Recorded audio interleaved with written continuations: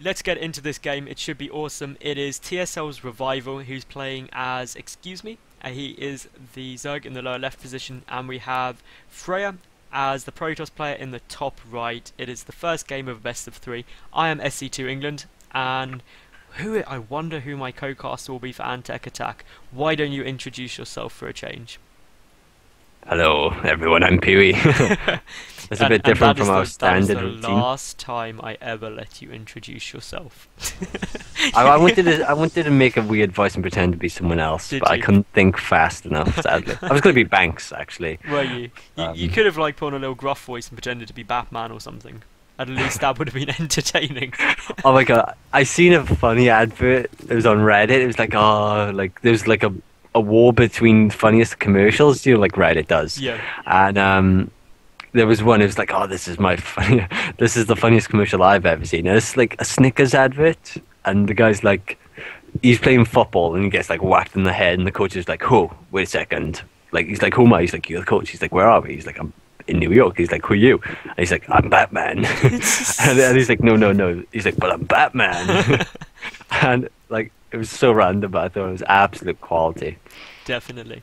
I'll- I'll Talking of find it. quality, though, um, Revival, he's playing everything straight up, and so is Freya. Freya is almost certainly going for a Nexus first build, I reckon, at the moment. And, well, he the, Gonna block. Sorry, is he gonna block the natural? The probe's there already. the probe um, is there. I mean, the pool's on the way. It's. He hasn't I, seen the blow. no, but I think mostly. Is, is Revival just going to go to the third first? More than likely, this is just like not even going to try and bother, just like, just going to go over here. It'll all be okay okay. in the end. Yep. And because of course revival always goes like three hatch, plays standard, doesn't cheese. Like it's fine for him to do this, I mean, And it course- the Korean way. You don't cheese. just ever. pretty much. And I like even on my ladder, I noticed a lot of Zigs do this anyway. So I know it's it's so common now, and it's gonna get stupid pretty soon. Like now, most Protoss players are going for the Nexus first build. They're like, well, you're gonna go three bases up quickly. I'm gonna get bases up quickly. Um, the next logical progression, in my opinion, is gonna be the Protoss player getting going Nexus Nexus Forge, to which the Zerg will respond with Hatch Hatch Hatch before doing anything and Yeah. eventually this the maps will be huge and everyone it, games will go on for like hours of just expansions and find the it'll, it'll be like 190 harvesters and 10 supply army, and you just do nothing but like reinforce 10 supply. instantly yeah. With like mass tech and everything. There's um nothing go- massively unusual going on here. The Nexus just finishes the f- cannon finishes, and there are two gas in production for Freya. In the meantime, the third started for revival it's a Yeah. perfect timing it was about 4 minutes 20ish which is absolutely spot on and everything is normal no gas yet which is to be expected a couple of uh, the queen's transferring and yeah, it's nearly there. She must be like, yes, yes, yes. like 100 meters. I've just got this funny image now of like ZVP going to like this mass expansion race, and then Idra coming on or something, and it going to like the Zerg or like the Protoss player will only expand like four times, and then do a push, and Idra just being like, ah, f you. Such cheese, all in, not four base. when he's expanded to like half the map, it amuses me. I, I feel it, it will happen one day. All right. First 100 gas also goes to the plus one, and the warp gate should be started. Boom, there it is. So we may have some very, very um, aggressive play out of Fre- Freya here. We got the Zealot, then followed up by a Stalker, because of course there is no speed for the Zerglings, and he can follow that up with four gateway pressure into a third, four gateway uh, Stargate. There's a lot of variances from this. Pretty much, you just have to make sure he doesn't take us third and fourth gas because No, that means yeah. much more tech uh, play. The Overlord's in a good spot to spot the fourth gas, if need be, or at least know there's three out. That Zealot poking around won't engage there. Two gas are down at the moment for Revival, and I really like what Revival's done by putting one gas in the main and one at the third position, Yeah. because the Zealot came in and saw the gas there, and pulled out, and now he's got to play a guessing game. Well, is he on at least how many gas is he on? I I genuinely don't know. It could be anywhere from one to five. Definitely. Here we have the three gateways.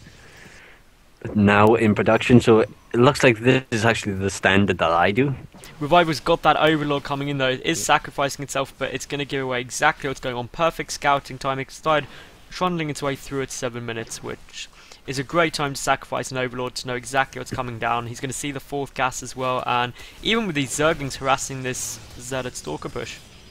Yeah, and oh, look at Freya moving that Zealot just to the behind the mineral line, so it's minimized. Ah, that's quality. And yeah, um, we have a few units just produce some Zerglings, and we should have some roaches produced fairly soon. There's double it- pylons coming out, and well, one was cancelled, but reinforcements are now from that proxy pylon, and there's going to be a push coming you. Yeah, and of course this is this is my build. This is what I do all the time, so it's pretty good. Um, he's How hitting dare before Freya copy you? I know. He's hitting he's hitting revival just before speed kicks in, so he can micro with stalkers, and then he'll warp in with some zealots. And Freya, like four gateways is standard anyway, so you like even though revival seen him, he'll like be oh well he's just you know needs production because that's standard. So honest, that's the why he problem didn't is really- this third base is getting very low on health here, yeah, I and know there's that's probably the gonna third go base down. is dead. Yeah, that's third base is so dead. And well, with no losses, taking our third base with what is going to be like one zealot down is He did lose a definitely worthwhile. Oh, did you lose a stalker as well? Yeah. But still, in terms of resources lost, revival could come off way worse, and is now on equal bases with Freya as well, yeah. which isn't fun. Freya adding on two more gateways and a robo, that'll take him up to six gate. Yeah, and there is Blink already in production as well as plus two. So he's going to follow this up with a plus two seven gate Blink all in probably, or just a six gate. This is he can expand with this, but it's it's not built for expanded really. To you be need honest, why why would you expand here? You're on equal bases with the Zerg player. You've just taken out their third, basically taking no losses behind Yeah. it. The Zerg player now pretty much has to do a big push at you. Yeah, Otherwise, absolutely. they're massively behind. So sit back, defend, get a lot of units out, and then if they don't attack you, well, guess what? You've got a huge army. If they do attack you, well, you've got a huge army. And the seven gate has been thrown down. It is important to note as well the proxy pylon at the bottom of the ramp of the third is still alive for Freya, and his true. probe is still in the bottom as well. So, like, he can keep building stuff. And there is also a warp prism. Hmm. That Well, must just be. What Just I'm I'm thinking we may see point. from Freya is well he knows all of these Zerg well he will shortly know a lot of Zerg units are here. He could just reinforce down at his proxy pylon with say four zealots and just go and wreak havoc on that rebuilt third. Absolutely. Or he could, you know, maybe leapfrog into the main with a couple of zealots just to split the the uh, the Zerg's forces completely in half. To be honest, Revival he's going for a complete all in here. He's getting so many Yeah. roaches out. He's stopped droning completely. But admittedly he's at 64 and without the third base that won't do much. But um, third base just up now for Revival, but he was on equal bases for so long though. He was, and his economy, he's pretty much hasn't built anything up. He's used And a couple actually, just as I thought, these zealots had been warped in, but they are going to Yeah. force all of Revival's army back, which is never fun in the slightest. The War Prism on its way over with zealots to the Queen. zealots to the Queen. It was faking going into That's the main. nice. He gets a Queen. actually- oh, that is beautiful play there by Freya. Freya is just been surrounding that queen. Sick. amazing. And third is also in production for Freya, to be noted. And just amazing drop and pick up production. There's nothing there to be taken down. The oh. third, as you say, coming up behind this, and well, this drop, pick up and drop micro out of this War Prism, beautiful. Oh, but of course, Revival now knows that there's a third having a Zerglin just like that was a bit bad. There was a Zerglin just out of range of the Nexus and a pro built pylon that like was uh, like activated the Zerglin to run at the Nexus and spotted it. So that was a bit bad for Freya. But of course, still this War Prism doing a load of damage, trying to take down another Queen, but he's going to have to be really careful. One Zealot does die there.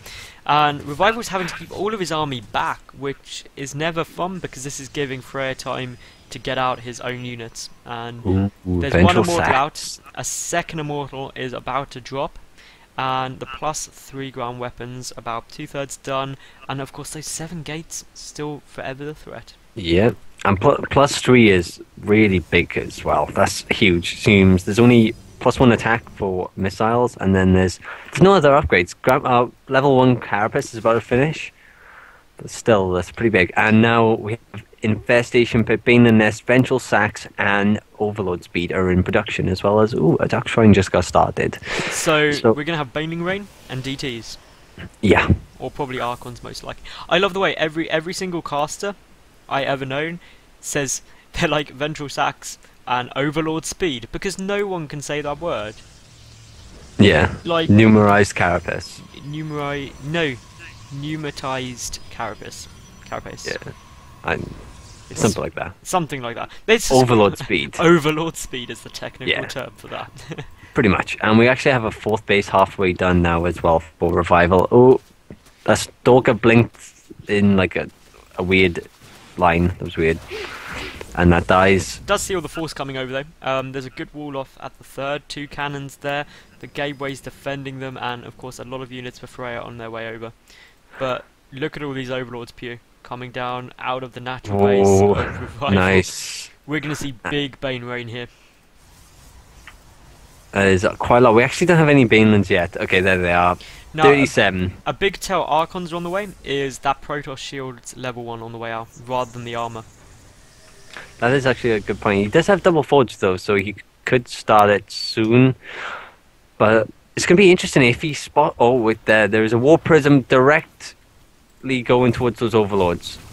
If that spots that, that will be huge. That's a big tell there, all there. That and is of course, huge. we do have Hive literally just finished for. Oh, he's well. gonna spot it just in time. Like, oh no! Did he see Oh. it? Did he? He didn't. He literally just moved off. Like he's seen that overseer just to the right and missed it, but he might move down and spot it again. Or he's gonna is he gonna warp something in? He knows the fourth base must be there, but he just needs to know He's- these overlords are there. Yeah, he's seen it, the creep and the the hatchery, so he knows.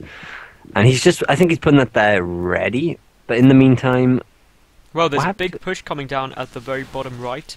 I think he lost his first war prism. Frey's moving ago. forward. There's a second war prism there as well for reinforcements, and this third base for revival yet again looking to be in problems. The plus three weapons are done. The plus one shields are done. Um, Oh, great force fields. These force fields are on the money. Those immortals wreaking havoc. That third base is going to take damage everywhere. Uh, But, but in come the overlords Pugh.